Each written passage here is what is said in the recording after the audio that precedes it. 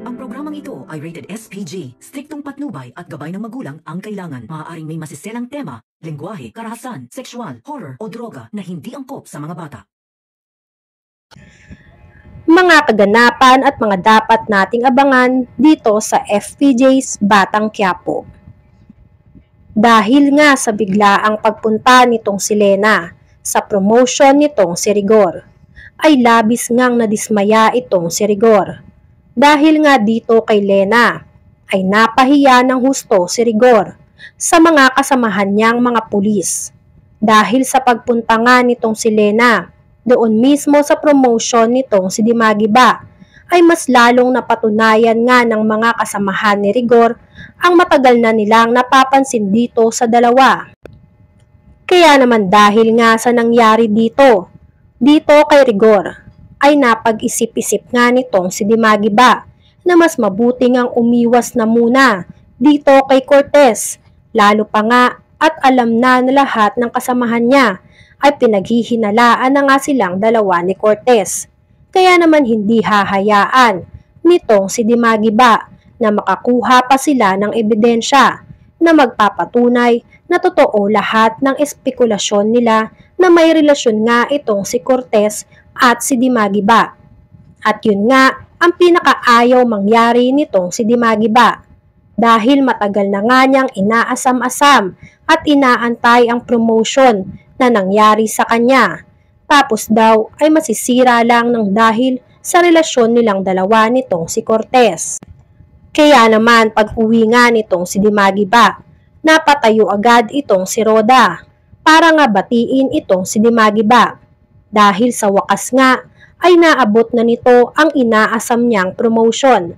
Kaya naman napasambit na nga lang itong si Roda na parating na tayo sa exciting part. Samantala, dahil nga sa ginawa ni Marites na pagtatanggol dito kay Rigor doon sa mga kasamahang mga pulis, ay tila nakapag-isip na nga itong si Dimagiba. Kaya kinausap niya nga itong si Marites. Sinabi nga ni Dimagiba dito kay Marites na patawad Marites dahil nga kahit anong ginawa nitong si Rigor sa kanya ay nandyan pa din siya para dito. Nangako naman itong si Dimagiba na aayusin niya na ang lahat ng gulo na pinasok niya sa pamilya nila. Lalong-lalo na nga ang gusot dito kay Cortez.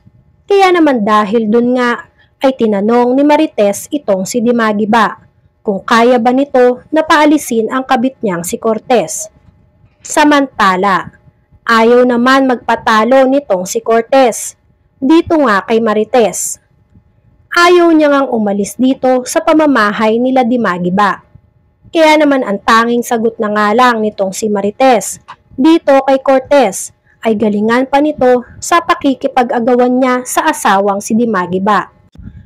Sa kabilang banda, matutuklasan na kaya nitong si Rigor ang masamang lihim ng anak niyang si David dahil nga nagkataon na ang investigasyon na nakatoka sa kanilang dalawa ng kumpare niyang si Mando ay ang imbestigahan ang pagkamatay ng isa sa pamilya ng mga kabalyero na ito ngang si Pablo.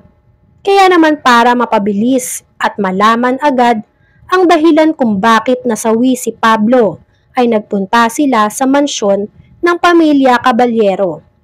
Nandun nga mismo sa burol ang mortal na kaaway nitong si Dimagiba na si Ramon Montenegro kasama ang anak niyang si David upang makiramay nga sa pamilya Caballero sa bigla ang pagkamatay nga nitong si Pablo. Samantala, dahil sa hindi maganda ang huling usap ng pamilya Caballero at ng pamilya Montenegro, ay pinagsususpetsahan nga nitong si Don Pacundo, itong si Ramon Montenegro, na siya ang may kagagawan kung bakit tinambangan ang apo niyang si Pablo. Kaya habang nakikipag-usap nga, si Ramon sa kanya ay hindi niya maitago ang galit niya dito at nakatitig ito ng masama kay Ramon. At dahil nga sa biglaang pagpunta nito ngang mga kapulisan sa mansyon ng kabalyero, ay nagkagulatan nga sila.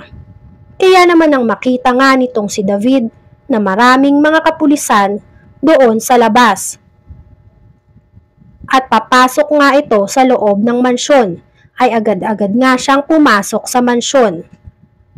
At agad niyang tinimbrehan ang peking tatay niya na si Ramon Montenegro. Nang sa ganun nga ay mapatakas niya ito at hindi siya mamukaan nitong si Dimagiba. Dahil panigurado nga na kapag nahuli nga itong si Ramon ay mabubuking lahat ng plano at pagkatao nitong si David. Kaya agad-agad namang umalis ang mga Montenegro sa mansyon nitong sila Don Pakundo. Samantala, sa pagmamasid nga nitong si David, ay hindi sinasadya na makita nga siya nitong si Rigor.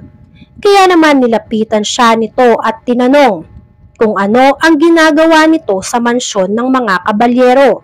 At dahil ayaw mabuking ni David ang lahat ng ginagawa niya, nagpalusot siya kay Rigor na nakita niya muli itong si Tanggol.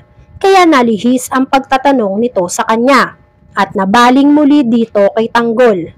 Samantala, nakipagkita na nga itong grupo ni Tanggol sa grupo nila Marcelo at nasabi na din nga nitong si Tanggol kung ano ang isang desisyon niya o isang kondisyon niya bago pumasok o sumali sa grupo nitong sila Marcelo.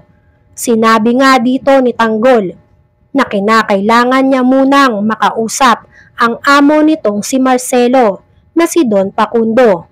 At dahil kailangan nga nila Marcelo ng tauhang malakas pa sa grupo nila, ay pumayag agad siya na ipakausap si Don Pacundo dito kay Latanggol kaya naman minabuti niya na dalhin sila tanggol doon nga sa mansyon nitong mga kabalyero.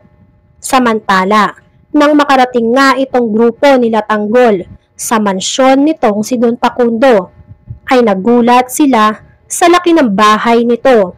Kaya naman tinanong ulit nila itong si Tanggol kung sigurado na ba sa gusto nitong pasukin at handa na ba siya muli na may gawin na kung ano-ano.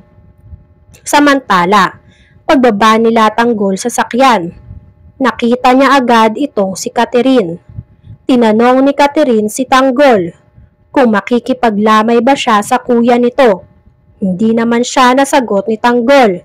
Sinabi nga lang nitong si Tanggol na pinapunta lang sila ni Marcelo dahil sila ang magiging bagong tauhan ng lolo nitong si Don Pacundo. Malalaman kaya ni Tanggol na si Pablo ang nakaburol sa loob ng mansyon? Marami pa tayong dapat kaabangan dito sa FPJ's Batang Quiapo. Kung gusto nyo pa ng mga gantong klaseng video, ay mag-subscribe at i-like itong video na to. Maraming salamat po.